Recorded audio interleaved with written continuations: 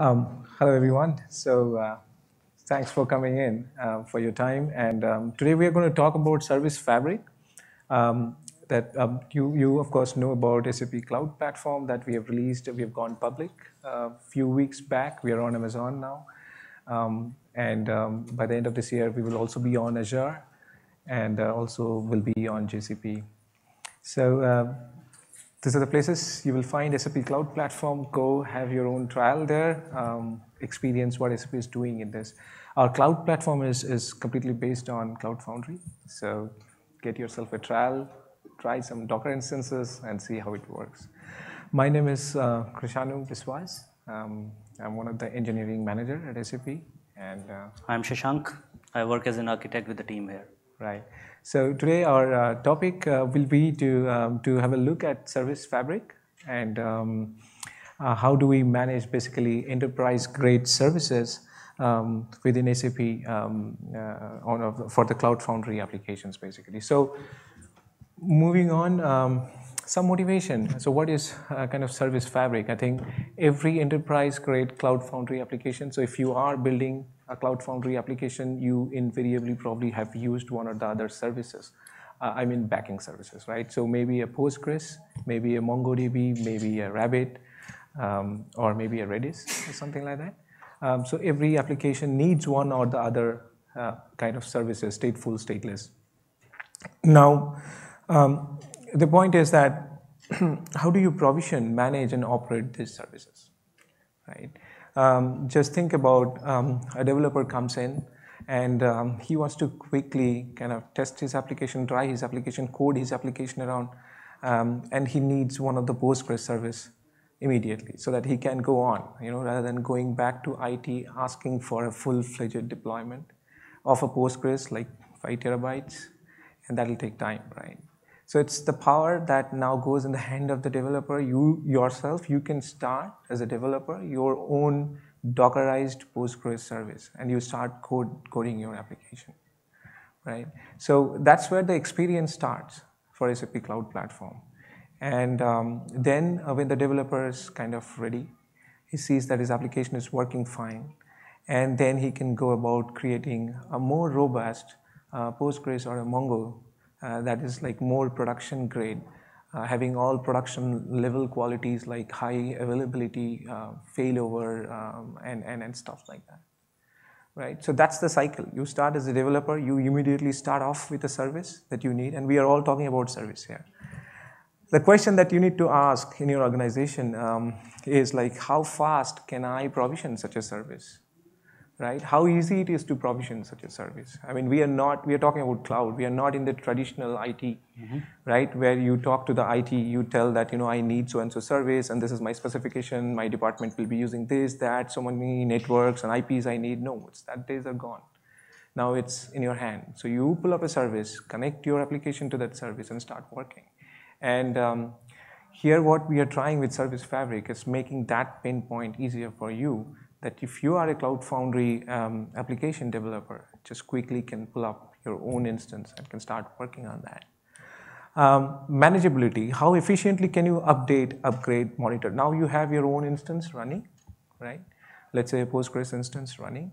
It's like kind of five VMs with all high availability and uh, failover mechanism all inbuilt. Quickly you will realize that you know um, managing this system becomes a nightmare and this is just one system. And what if, if you have hundreds of such systems? So in your company, there could be many departments and all of them are using their own Mongo, Postgres, Rabbit, and they are like all three to five node um, uh, virtual machines running. Um, and question is, how do you manage them? How do you update them?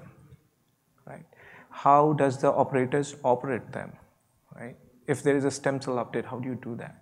So quickly you run into this kind of problems and then you start thinking, um, maybe there is something, uh, some tool that could help me here doing this uh, in an automated fashion, right? Um, service Fabrik is not alone. So Service Fabrik is all about provisioning, managing, and operating service, I said. But without the services, Service Fabrik is nothing, right? So you need high quality services as well. So Postgres MongoDB, these services should have their own service qualities in build that we talked about, resilience, failover, scale, all of this, the service should provide. And they are the BOSH releases that we have. So Service Fabrik understands any kind of BOSH release. You give them a BOSH release, it'll deploy for you. Right? And then all of a sudden you have a full-fledged service running for your organization. Um, experience we talked about from development to production, right?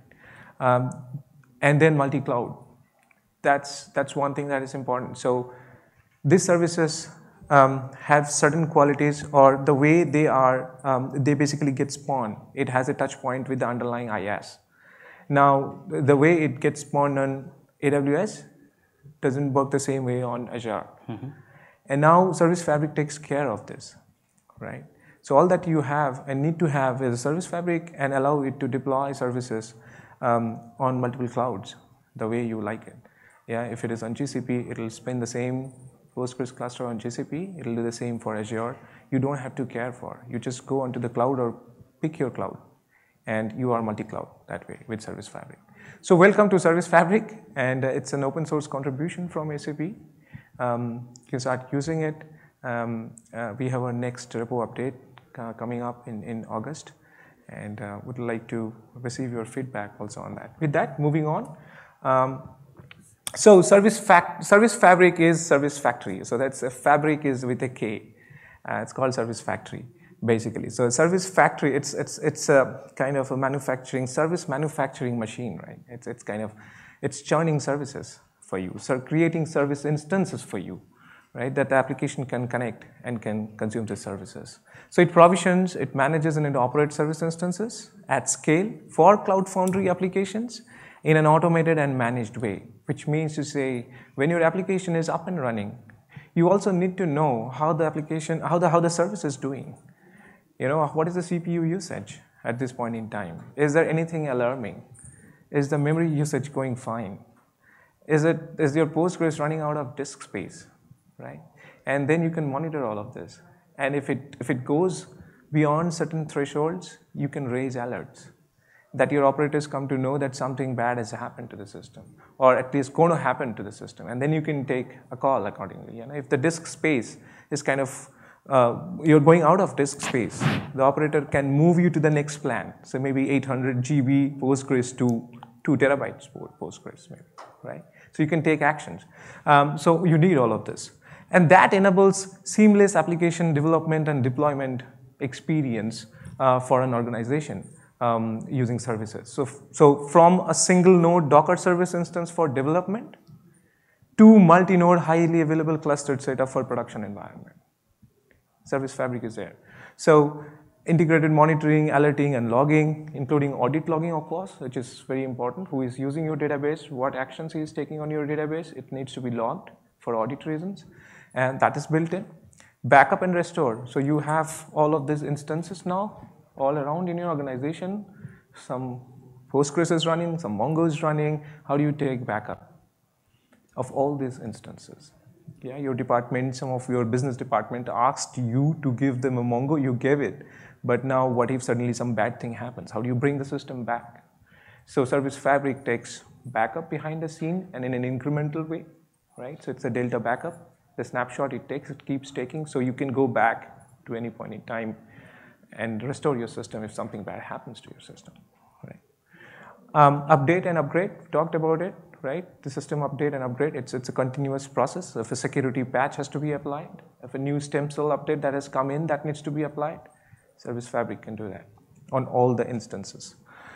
And of course, the security is, is very important. So that's, that's what it's Service Fabrik. Any question at this point in time on what Service Fabrik is capable of? So this is what it does. It does, it manages services. It provisions, not only provisions, it manages and operates all these services. So this is how it looks like. Yeah. So from your CFCLI, you're a developer, um, you basically tell Service Fabrik that, hey, give me a Docker VM, right? I mean, give me a Docker instance of Postgres. And there are certain, then Service Fabrik basically talks to Swarm, the Swarm manager, and then Swarm then puts this service that you have asked for into one of the Docker VMs, right? So a lot of different types of Docker containers reside inside each VM, each Docker VM. This Docker VMs then has a lot of containers running all different kinds of services. And one of your development services is also running there. So connect to it, you, you know, build your prototype or develop your application the way you want. The other kind of service, when you are done uh, with your development, you then tell Service Fabrik, hey Fabrik, now give me a production uh, grade Postgres. And then Service Fabrik talks to BOSH. It tells BOSH, can you just pin a cluster of Postgres for me? And that Postgres is basically, let's say five to seven, it depends on your BOSH release. It could be five to seven VMs together and which is like high, highly available. And um, yeah, and with this particular BOSH release, with this, this virtual machines, we also inject an agent inside. So Fabrik and the agent can then talk to each other. Fabrik can ask the agent, okay, how are you doing? Is it all good with you? Agent can also take certain metrics and events out of the virtual machine and can send it to the central monitoring um, system. We have Grafana for this, right? So um, it goes to Riemann, and then Riemann stores it into Influx, hmm. and from there Grafana pulls up and shows. We will see that in some time. How does the monitoring look like? But that's how the communication takes place, right? So you have broker, a service fabrik broker, uh, which talks to Swarm for Docker services, which talks to BOSH for a more production grade services, and uh, it's a matter of um, uh, seconds or a minute uh, when your service is up and running, the cluster is up and running right? So you have a service now, you connect to it, and then see, let's, so this is, this is the big picture. And there you see that IaaS blob store, that is basically the place where all your snapshots or your backups get stored, right? The service fabrik keeps taking backup of your volume, right? The Postgres data, whatever you have on the volume on the disk, has to be preserved, and these backups are stored somewhere. So on Amazon, we are storing it on S3. On OpenStack, we are storing it in Swift right? That's, that's how it is. So that's why that particular piece. So um, if, if this, this is a very high level picture, let's get a little bit into the details of what it is doing and how's it doing. So Shashank, uh, maybe the, hmm. Take us through the Thanks for the great introduction of Service Fabrik. I think, I guess you guys are finding it interesting. Mm -hmm. So let's go over the brief architecture, what it means in terms of components, first of all. So I think everyone here is aware of what Cloud Controller is and what the CF APIs are primarily. So the reason uh, we have Service Fabrik built over the Cloud Controller or the Service Broker V2 APIs is primarily to have the lifecycle managed by Cloud Controller. So there is nothing much difference in terms of CF managing the instances here primarily. So if you look the call trace, it starts from the Cloud Foundry side on the extreme left. If you see there's the cloud controller, and then we have the CF APIs which invoke the broker. The broker is nothing but the service fabrik itself. It's a Node.js process which is running deployed as a BOSH release. And this service fabrik broker can then talk to two systems primarily. It can talk to BOSH via the HTTP APIs to the BOSH director, or it can talk to Docker Swarm again over HTTP. So as Krish explained, primarily there are two scenarios. For Docker Swarm, we are kind of looking into development kind of instances, uh, single node Docker instances. And via BOSH, it is more productive usage. Like you get a complete cluster with HA and all kinds of service qualities. So what you see here is from the broker, we trigger a lifecycle operation on BOSH, We deploy the manifest, and then it creates instances of Postgres, MongoDB, Redis, which are clustered in themselves deployed on different virtual machines. All these systems can then talk to infrastructure components like Grafana, Elk. Grafana is where it is pushing all its monitoring information, like what kind of events are happening, what is the health, how many connections, let's say for Postgres are active at certain point in time. And then we also log into the audit log or Elk stack, primarily the life cycle, like when the process was started, if the process is shut down, all kinds of DDL or DML statements if you want to configure there. Then you see on the service fabrik component itself, there is a monitoring agent, which is also capturing the health of service fabrik process itself. Like how the service fabrik, is it too many connections on the service fabrik node? Do we need to scale this? So all these kind of data is also pushed to Grafana via the service fabrik uh, monitoring agent. So compared to the previous slide, this is a more detailed view on how the components sit into the infrastructure. So if you see on the top you see the Cloud Foundry CLI, and then you have the IaaS layer where your elastic load balancers in case of AWS are sitting, and then you have all kinds of uh, object store volumes, uh, object store uh, uh, volumes, and then the compute part of it. On the left side, again, the uh, Sorry. just go back. On the left side, again, it's the cloud controller and the uh, Diego runtime. Primarily, it's from the app's perspective, and the CF runtime primarily, which again talks to the broker over the standard interfaces. And broker internally either pushes a BOSH deployment to the BOSH director or interfaces with Swarm for Docker containers. So a little bit talking more details about how Docker is working here. So you see on the extreme down on the Docker uh, bracket where you see the Docker engine, which is the Docker daemon, and then you have a storage. So we kind of uh, wrote our own volume driver, which is abstracting the actual volume which you get from EBS or Cinder, and this is called the LVM driver, the logical volume driver. So what we do, we create a sparse file on top of the actual volume we get from Cinder or EBS, and then carve out logical volumes for each container. So we save on cost. As we said, this is all for development purposes. So the idea was here to save costs rather than giving each individual container a proper volume. This also helps in quota management, right? Yes. So again, the idea is that uh, you enforce quotas on the disk. So one container can only take certain resources. So if you see no Docker, primarily it enforces two kinds of quotas on the CPU and memory, but not on the actual volume or the disk storage. So this is how we enforce that a container cannot exceed a certain uh, usage of the disk itself. So on the service instance deployment, then you see there are a couple of agents. Apart from what we have as the main process, like a Postgres instance running, you have also a BOSH agent and a service agent. So BOSH agent is something which is provided by BOSH, automatically deployed on the VM.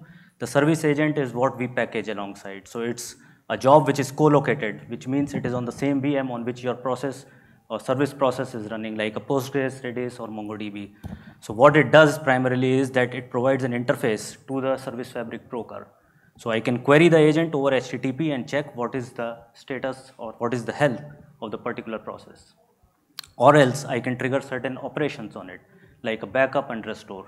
So the way we have implemented is the service agent exposes certain capabilities, like it can do backup, it can do restore, or it can do certain other operations. These capabilities are then queried by the broker or the Node.js or the service fabrik, and then accordingly it invokes those operations on these specific nodes. So moment the broker uh, kind of spins a cluster of a service, it also schedules certain backups, um, schedule with and tells that you know at this certain point in time interval you keep Yeah, taking backups. So, So we just- have detailed slide on a little that bit as uh, on the same slide back again. Mm-hmm.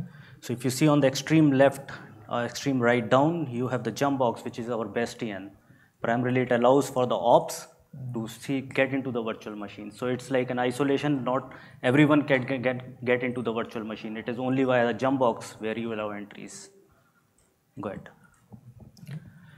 So this is a simple uh, sequence diagram on how a service creation is working. I try to keep it simple, but there are many complexities which are handling or which are being handled behind the scenes, like creation of security groups and all.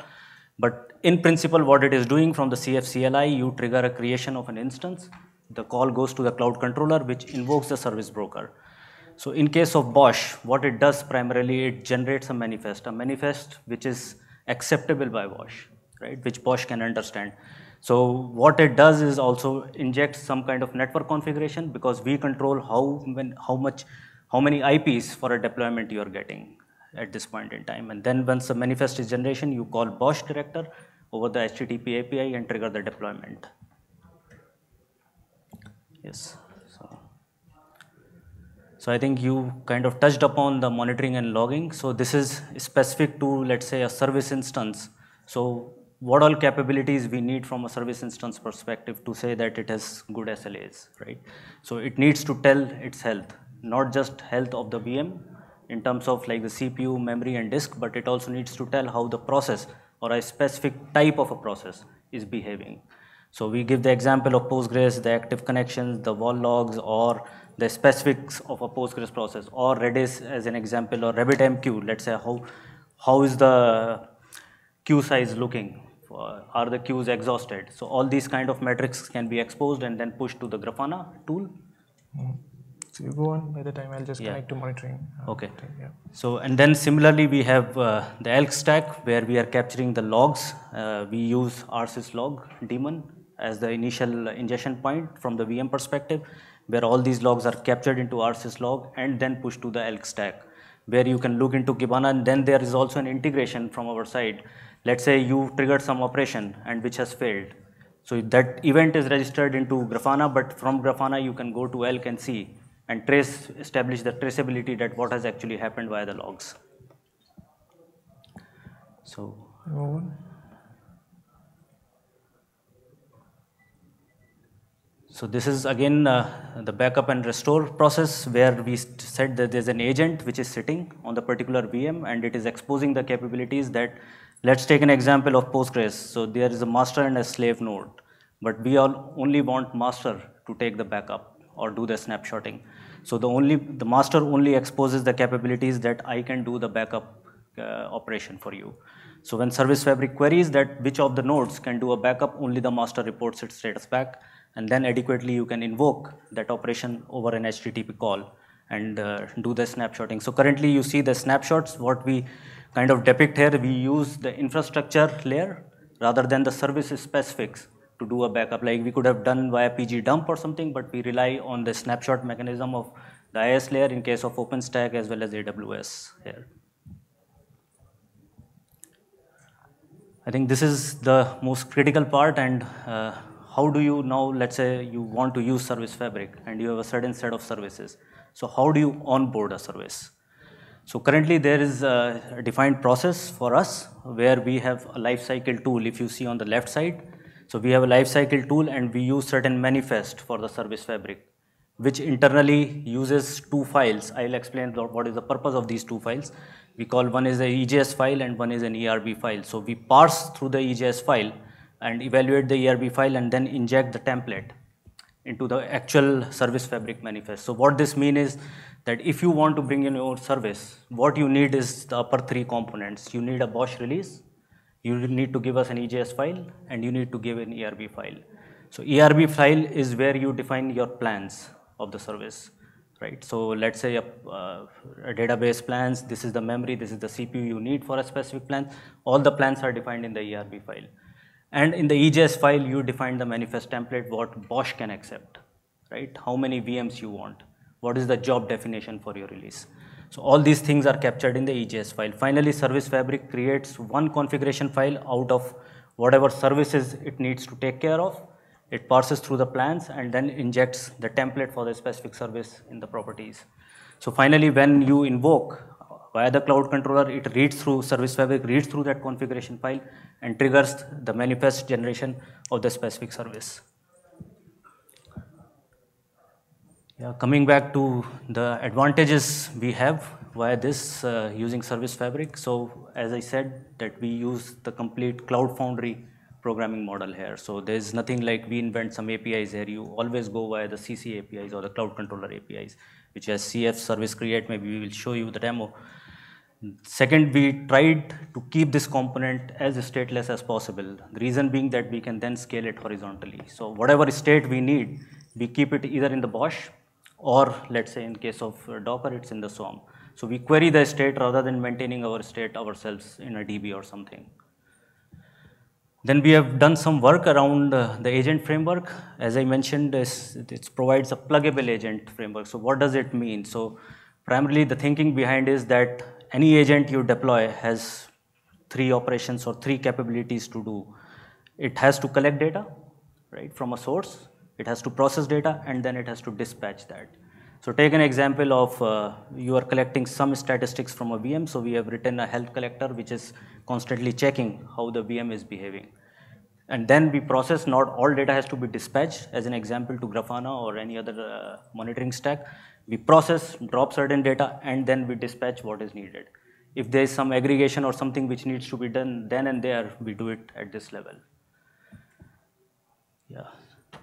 So. Okay, so um, for the sake of time, let's take a look at some of the observability. So you have, we told that, right? There are certain systems running and you want to know what's happening within that, within that system, yeah, what's the load and all that. So I will try to pull up. Some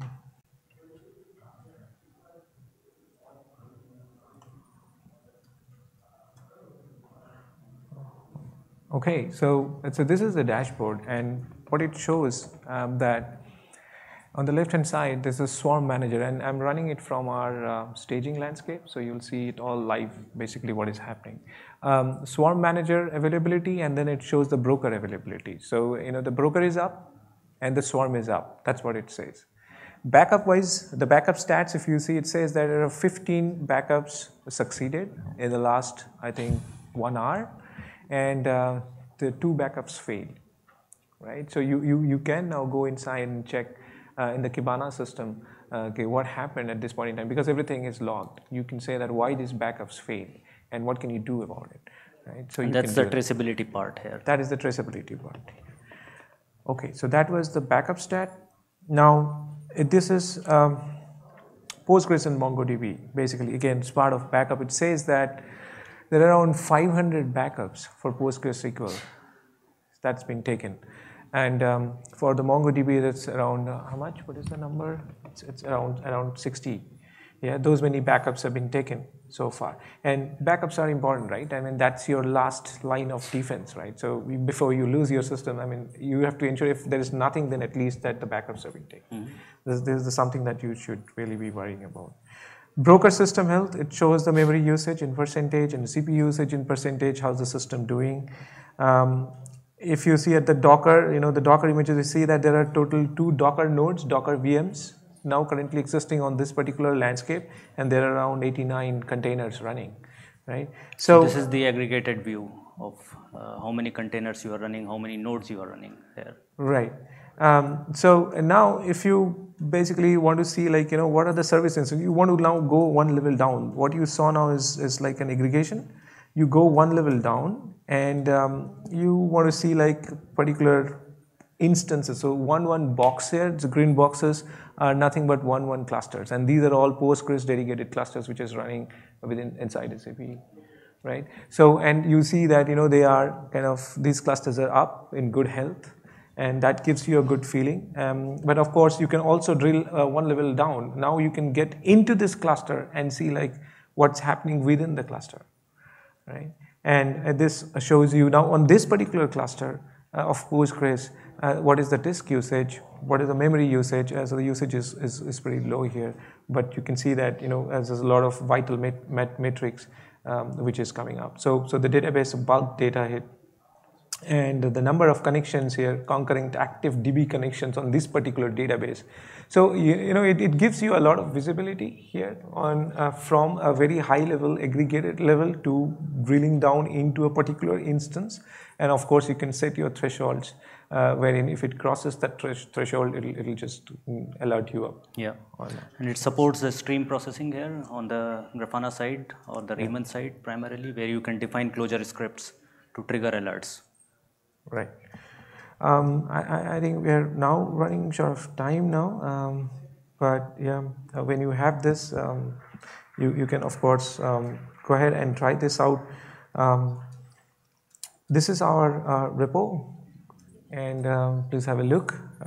Maybe you can just open the templates the, once and uh, which template? The service fabrik product component. Yeah. Yeah.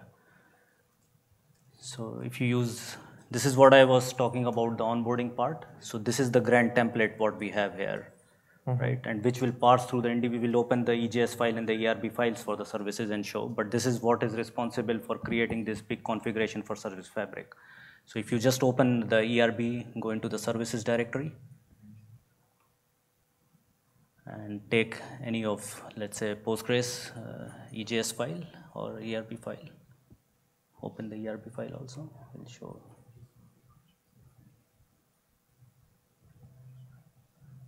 So this is where if you see all this metadata about your plans and other things are coming into play, right? So how do you define the container plans? How do you define the managed plans or the dedicated instance plans? So finally, what Fabrik will do is the manifest template, the bigger one gets parsed, and then all this information is just made part of one configuration file. right? So then when someone makes a request that I want to create an instance for a specific type of service and for a specific plan, it reads through that configuration, what it means, what template it needs, what configurations it needs, and then adequately generates uh, the BOSH manifest or the Docker, it pulls the Docker image and creates one. Yeah, so the point is if you have your own service, that it's a BOSH service that you want to get deployed on your landscape, bring it in. Service Fabrik can deploy this for you and can mon monitor and manage this for you. Yeah, you need three files. One is ERB, EJS, and then your BOSH release. That's all you need. Yeah, so our next step is to make this uh, onboarding even more easier. And um, we want to bring in also this out of band BOSH deployments, um, which, which means that if you already have a BOSH deployment and you want to bring it in within the ambit of Service Fabrik so that you get all the advantages of Service Fabrik, you can also do that. Um, BOSH 2.0 compatibility, we, we, we have to get there. Service bundles, so there are multiple services if they can talk to each other, right? Yeah, so, so the idea here is, let's say today the model of uh, Cloud Foundry is app to service binding, but it misses a notion of service to service binding primarily. So if you deploy a certain service and you want to consume a managed service, how do you do that? Right. So I think this is uh, in lines of that idea here. Right.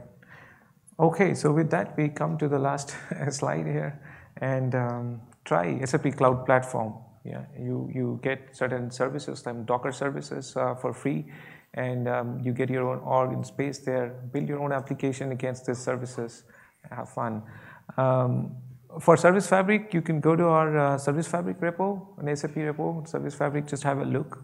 Um, and yeah, and you can also know more about SAP's contribution to Cloud Foundry in that link. So this will be uploaded, of course. You will get to have access to all these links. They're all public.